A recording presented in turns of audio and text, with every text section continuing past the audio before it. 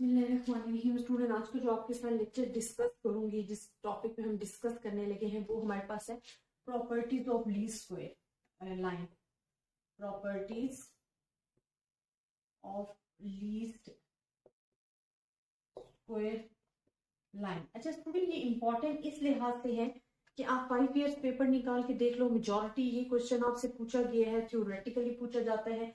और थ्योरेटिकली पूछने के अलावा जब आप एक, मैं आपको इसे नेक्स्ट एग्जांपल सॉल्व कराऊँगी उसमें ये चीज़ें आपसे करवाई गई हैं प्रैक्टिकल करवाई गई हैं। तो वो क्वेश्चन जब आप करेंगे तो आपका जो कॉन्सेप्ट है वो और ज़्यादा क्लियर हो जाएगा। सबसे पहले तो स्टूडेंट आपको इसकी जो फोर प्रॉपर्टीज़ हैं बेसिक प्रॉपर्टीज़ ऑफ़ ली स्क्वायर लाइन की, वो आपको पता होनी चाहिए। फ़र्स्ट ऑफ़ ऑल अगर हम पहली प्रॉपर्टी देखें तो हम कहते हैं कि the sum of residual is zero ठीक है? रेजिड्यूल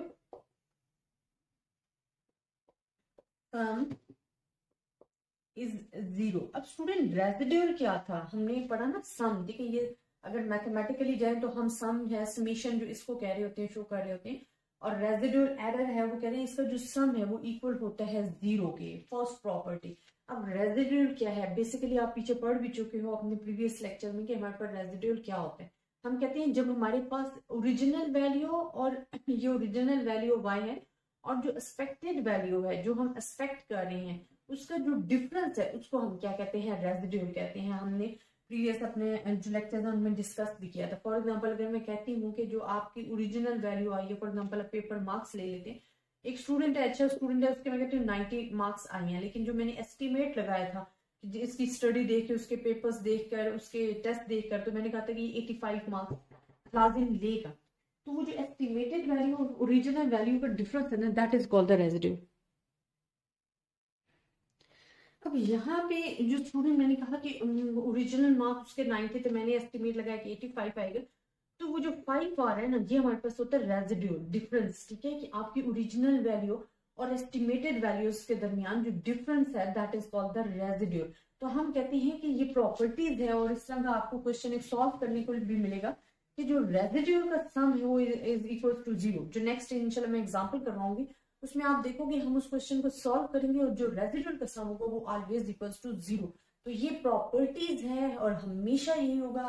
समटाइम्स आप इंटरव्यू के लिए भी जा रहे होते हो तब भी ये क्वेश्चन आपसे रिपीट हो रहा होता है। तो that is the most important question है कि residual sum is zero second properties अगर हम इसी की देखें लीज स्क्वायर लाइन की तो हम कहते हैं कि हमारे पास sum of observed values equals to the sum of the fitted value जो एस्टिमेटेड वैल्यूज़ होते हैं मतलब क्या है कि सम ऑफ़ ओरिजिनल वैल्यू जो है, वो sum of fitted expected value के इक्वल होगा, ठीक है?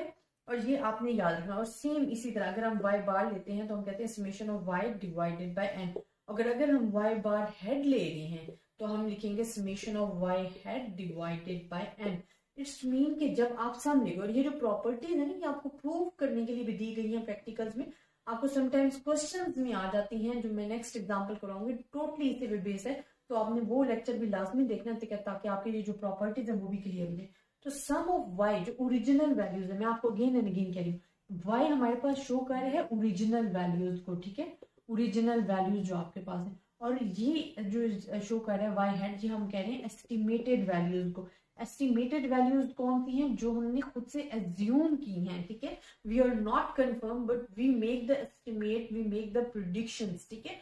तो हमारे पास वो क्या होती है? प्रिडिक्टेड वैल्यूज़ होती है एस्टिमेटेड वैल्यू होती है। Sometime the word is use the predicted same word इसका मीनिंग है कि आपने एस्टिमेट ही करना है। समटाइम पेपर में आपको प्रिडिक्शन का वर्ड आ जाता है। तो आपके पास क्या है कि जो ओरिजिनल वैल्यू का सम है, वो एस्टिमेटेड वैल्यू के सम के इक्वल होगा। That is the second property of the least square regression line third properties हमारे पास क्या आ जाती है? ते एक और चीज़ स्टूडेंट इसमें आपने याद रखनी है, बल्कि मैं ये आपको करती हूँ कि sum of Y head minus Y bar is also equals to zero ये भी हमारे पास किसके इक्वल होगा? ज़ीरो के। और ये हमेशा के केस में होगा। ये नहीं कि सिर्फ़ मैं इसी में बता रही हूँ।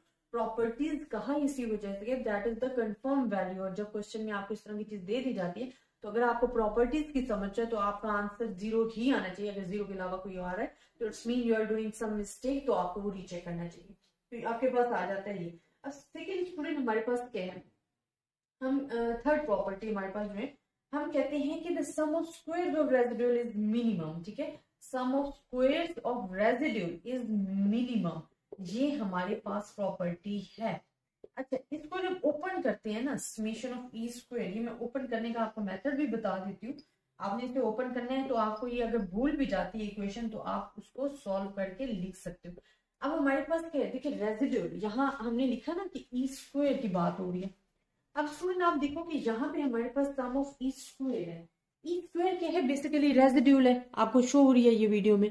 रेजिड्यूल है तो रेजिड्यूल हमारे पास किसकी इक्वल होता है? स्टूडेंट जो रेजिड्यूल होता है ना वो इक्वल होता है वाई माइनस वाई हेड के, ठीक है? इसके इक्वल होता है और इसका हमने स्क्वायर लिया। इट्स मीन ये हमारे पास क्या है? रेजिड्यूल है, जिस तरह के ये हमने लिया। अब आप इसी का स्क्वायर जब ओपन करोगे ना इट्स मीन के Y minus Y head and Y minus Y head को आपने क्या करना है आपस में? मल्टीप्लाई करना है। जब मल्टीप्लाई करोगे तो आपके पास ये वैल्यूज़ आ जाएँगी।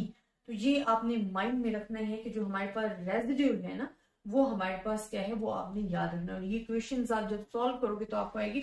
आई थिंक जो एफ़ uh, uh, क्योंकि आपके कोर्स में सिर्फ़ ये प्रॉपर्टीज़ हैं याद करने वाली जो नेक्स्ट uh, जो मैंने आपको करवाया ना बीएससी लेवल का कोर्स उसमें ये आपको प्रूफ भी करवाई गई है। तो वहाँ आप जाके देख सकते हो कि इसको मैंने कैसे ओपन किया और ये वैल्यू कैसे आई है तो ये प्रॉपर्टीज़ है और ये भी नेक्स्ट एग्ज़ाम्पल में फुल आपको दिया गया है।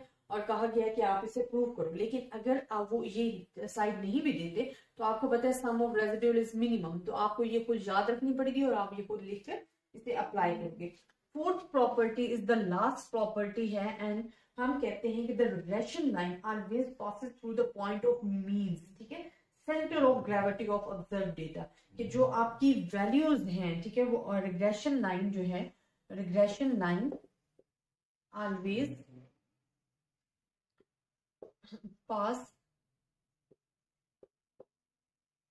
through this center point या point of means, point of means, कि वो हमेशा सेंटर जो हम करते हैं ना मीन्स एक्स बार और वाई बार से जो है, वो होकर जाती है आपकी वैल्यू तो हम कहते हैं जो रिग्रेशन लाइन है is always pass through the means center of gravity of the observed data. तो this is the four properties हैं जो कि स्टूडेंट बहुत इंपॉर्टेंट हैं, या आपकी थियोरेटिकली भी आपके पेपर में आ रही होती हैं, और प्रैक्टिकली जो है, इंशाल्लाह मैं नेक्स्ट एग्जांपल करवाऊँगी जिसमें आपको ये क्लियर हो जाएँगी कि इस पे मैं क्यों फोकस कर रही हूँ ज़्यादा। तो आई होप स्टूडेंट आपको लेक्चर की समझ आई होगी, लेकिन अगर आपको फिर भी किसी भी किस्म की कंफ्यूजन है, आप मुझसे डिस्कस कर सकते हो। ज़्यादा से ज़्यादा स्टूडेंट्स के साथ शेयर कीजिएगा।